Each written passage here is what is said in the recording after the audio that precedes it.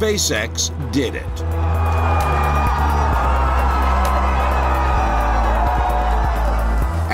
Years in development, the company's Starship, sitting atop the massive 33 engine Super Heavy booster, lifted off from the launch site at Boca Chica, Texas, on its first orbital test flight. Propulsion reports first stage engines nominal, what a sight when the ground here as it. We're flying at twice the thrust of the Saturn V heading to space. A phenomenal sight as the uncrewed vehicle cleared the tower and muscled its way through the atmosphere. But the most powerful rocket to ever fly didn't get much further than that. Several of the booster's Raptor engines failed. Going through the period of maximum aerodynamic pressure, Three minutes into flight during a planned flip maneuver to set up for booster separation, the entire stack was tumbling. the entire Starship stack continuing to rotate. We should have had separation by now. Obviously, this is uh, does not appear to be a nominal situation. Just seconds later, four minutes into flight, the vehicle experienced what's called RUD, Rapid Unscheduled Disassembly. Pieces of the spacecraft rained down over the Gulf of Mexico. You never know exactly what's going to happen, but as we promised, excitement is guaranteed. SpaceX founder Elon Musk sat in what the company calls Star Command at the Texas launch facility.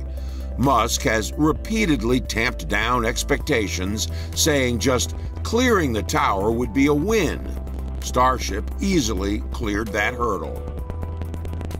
The company has a contract with NASA to use a modified version of Starship to land astronauts on the moon. And the company's next generation Starlink satellites are too large to be carried into orbit on the Falcon 9 rocket. For Musk, the vision is far beyond the moon and Starlink.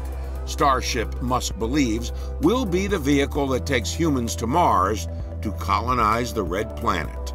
Mars is a fixer-upper of a planet, and um, so it's, it's going to take some work to make it make it easy to live there. But one day we could make Mars a planet like Earth. With its capability to put up to 250 metric tons into orbit, a fleet of starships could head to and from Mars, bringing people and cargo to build infrastructure for the first human settlement. Both booster and starship are designed to be fully reusable. That would, Musk says, reduce the cost of flights to unheard of lows. It may be as little as a few million dollars per flight, um, maybe even as low as a million dollars per flight. So this is crazy. These are crazy low numbers uh, by space standards. Cra crazy low. There remains a long way and years to go before even the first Mars test mission.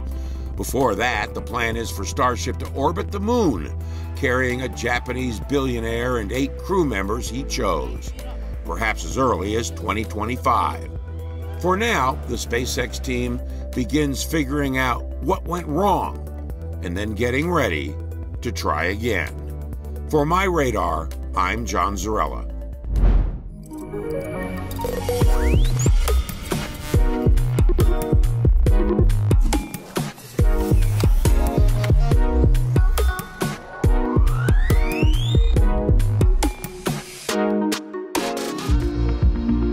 Follow My Radar on social media Facebook, Twitter, Instagram, and YouTube. Download My Radar on iOS, Android, Amazon Alexa, Xbox, and Windows.